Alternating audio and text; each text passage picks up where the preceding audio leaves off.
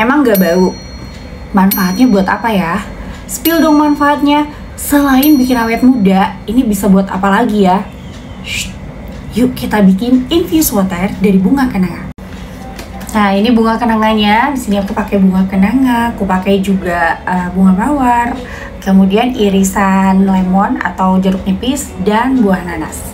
Jadi kalau teman-teman kan bilang kak ini emang gak bau, wangi kali ya yang dimaksud. Karena memang kalau bunga kenanga varietas tertentu itu bisa wangi banget. Ada yang memang wanginya light aja ya nggak terlalu wangi. Nah kayak misalnya ini menurut aku nggak terlalu wangi guys. Ada yang wangi banget itu yang uh, kelopak bunganya itu besar-besar itu biasanya wangi banget. Dan supaya teman-teman bikin infused waternya itu nggak pahit ini kan ada batang bunganya ya ini dibuang dulu. Jadi yang dipakai bunganya aja karena batangnya suka menimbulkan rasa yang pahit ini langsung aja kita masukin ke dalam botol kaca. Boleh nggak sih pakai botol plastik? Boleh ya, selagi botol plastik itu aman untuk makanan ataupun minuman. Nah kalau kemarin kan aku bikin konten itu aku pakai botolnya botol air mineral ya, itu untuk satu kali pakai aja ya teman-teman. Jangan lupa melihat kode di bagian bawah botol itu aman atau enggak dipakai untuk makanan dan minuman. Nah untuk bunga kananganya teman-teman aku sukanya yang kecil-kecil kayak gini ya karena nggak begitu nyegrek wanginya. Nah itu mungkin yang teman-teman agak nggak suka ya.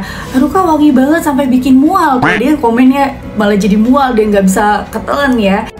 Ini udah aku masukin bunga kenanganya. Sekarang mau aku tambahkan bunga mawar. Ini bunga mawar kering ya guys. Aku jajannya juga di tiktok nih ya katanya infused water kenanga kalau ditambah lagi bunga mawar bisa bikin awet muda. Bener nggak ya? Itu mitos atau fakta? Ala ini teh susah pisan dikeluarinnya. Nah seperti ini ya guys. Ini walaupun kecil kayak gini masya allah. Ya allah wangi banget ini ya guys. Ya jadi bunga kenanga juga udah wangi. Nah ini kamu bisa mix pakai bunga yang lain supaya wanginya itu jadi nggak hanya kenanga aja atau mau ditambahkan lagi dengan irisan jeruk nipis juga bisa ya. Tapi aku mau pakai ini kenanga dan mawar.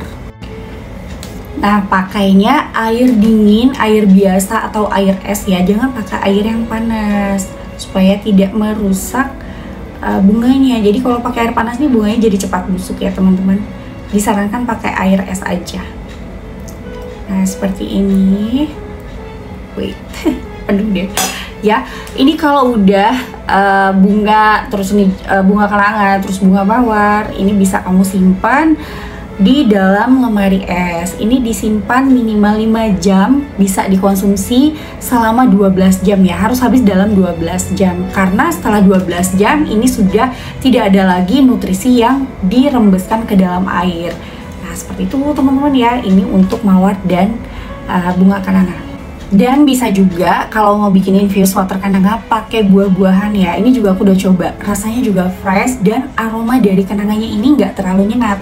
Karena ada campuran dari aroma buah-buahnya juga ya. Nah, ini aku masukin juga kurang lebih tiga bunga aja.